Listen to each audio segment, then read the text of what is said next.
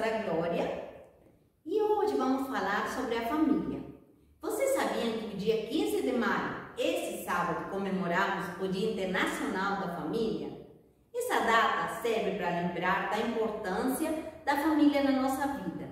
A família não é só papai e mamãe, mas aqueles que cuidam e nos protegem.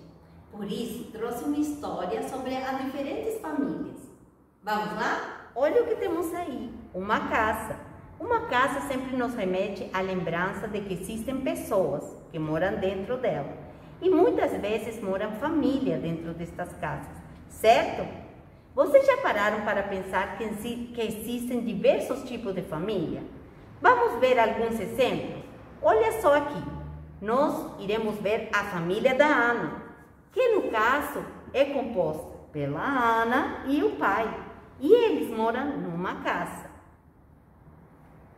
Já aqui nós temos a família da Júlia, que é formada pelo irmão da Júlia, o pai, a mãe e a Júlia. E eles moram numa casa. Agora vamos ver a família do Pedro.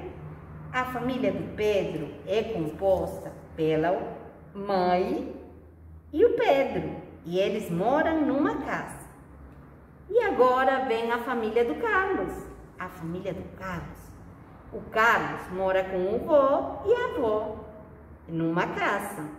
Vocês perceberam que aqui nós vimos vários tipos de famílias? E é claro que existem outros tipos, mas na verdade o que importa para que essas famílias vivam juntas e felizes, dentro de cada de uma delas tem que existir algumas virtudes, como por exemplo a união, a humildade, o respeito, a honestidade, a felicidade, a educação, a solidariedade e a gratidão.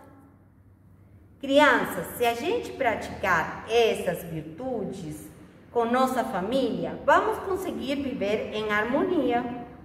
Crianças, e essa foi a história de hoje. Espero que tenham gostado. Enviem seus vídeos nos contando o que, que vocês fazem para manter a família em harmonia e qual é a virtude que vocês trabalham juntos. Feliz Dia da Família! Beijos e até a próxima!